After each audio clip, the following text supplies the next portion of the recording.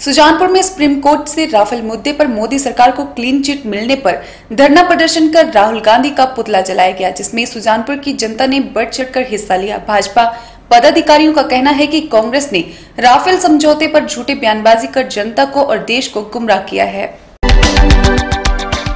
सुजानपुर में supreme court से Rafale मुद्दे पर मोदी सरकार को क्लीन चिट मिलने पर धरना प्रदर्शन कर राहुल गांधी का पुतला जलाया गया, जिसमें सुजानपुर की जनता ने बढ़ चढ़कर हिस्सा लिया। भाजपा पदाधिकारियों का कहना है कि कांग्रेस ने राफेल समझौते पर झूठी बयानबाजी कर जनता को और देश को गुमराह किया है। राजेंद्र राणा बताएँ कि जब उन्होंने सुजानपुर में जनता के सामने राफेल सौदे को मोदी सरकार का घोटाला करार दिया था, लेकिन सुप्रीम कोर्ट से मोदी का मोदी सरकार को राफेल सौदे में क्लीन चिट मिलने पर कांग्रेस पार्टी व सुजानपुर का विधायक अपनी ही नज़रों में शर्मसार हुआ है। एक राहुल गांधी ने पूरे देश से झूठ बोला और दूसरा राहुल गांधी सुजानपुर में है, जिसने सुजानपुर की जनता को झूठ बोलकर वर्ग लाने की कोशिश की है। भाजपा पदाधिकारियों का कहना है कि राजेंद्र राणा को सुजानपुर और हिमाचल की जनता से लिखित रूप से माफ़ी मांगनी चाहिए क्योंकि उन्होंने चुनावों के दौरान राफेल सौदे को घोटाला करार दिया था। कांग्रेस पार्टी व कांग्रेस नेताओं ने अपनी राजनीति चमकाने के लिए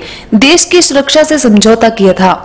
परंतु जिसका जवाब जनता ने लोकसभा के चुनावों में अपने वोट अधिकार से दिया, राजेंद्र राणा को समझना होगा कि वे जनता को अब झूठी बयानबाजी में नहीं बर्ग ला सकते हैं। धरना प्रदर्शन में मंडल अध्यक्ष बीरेंद्र ठाकुर, पूर्व मंडल अध्यक्ष कैप्टन रणजीत सिंह, प्रदेश कार्यकारिणी सदस्य बीरेंद्र ठाकुर, रमेश कांगड़ा, पीटीए प्रधान जिला परिषद, चेयरमैन राकेश ठाकुर, सुखदेव ठाकुर, महामंत्री अनिल शर्मा पवन शर्मा, मीडिया प्रभारी विनोद ठाकुर, शहरी इकाई अध्यक्ष सुमन महाजन, नगर परिषद अध्यक्ष अशोक मेहरा, पार्षद सुधीर भटनागर, सुजानपुर युवा मोर्चा अध्यक्ष जगन कटोच व भाजपा के पदाधिकारी उपस्थित रहे।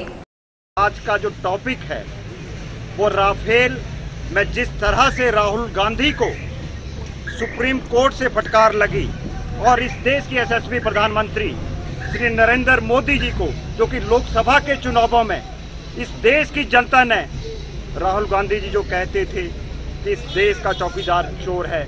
जनता ने कहा कि इस देश का प्रधानमंत्री चोर नहीं, कांग्रेस पार्टी चोर है, जिसने सत्तर बरस तक हमारे जो सीमाओं की रक्षा करते थे, हमारे प्रहरी, हमारे सैनिक, उनके साथ छल किया। उनको तरह की सुविधा उपलब्ध नहीं करवाई जो हमारे देश के एसएसपी प्रधानमंत्री नरेंद्र मोदी जी ने करवाई है। तो देश की जनता ने लोकसभा चुनावों में उसका जवाब जैसा ही आपको पता है, माननीय सुप्रीम कोर्ट ने परसों ही बहुत बड़ा डिसीज़न हिंदुस्तान में हमारे सरकार के, हमारे नरेंद्र, प्रधानमंत्री के पक्ष में एक बहुत बड़ा कार्यक्रम यहाँ पे निर्णय दिया है। उसके लिए भी मैं माननीय सुप्रीम कोर्ट का, देश की जनता का बहुत बहुत धन्यवाद करता हूँ। जिन्होंने इतना बड़ा इतना बड़ा दुष्प्रचार होने के बावजूद भी इतना बड़ा जनमत माननीय मोदी जी को दिया, इसके लिए मैं देश की जनता को बहुत बहुत बधाई।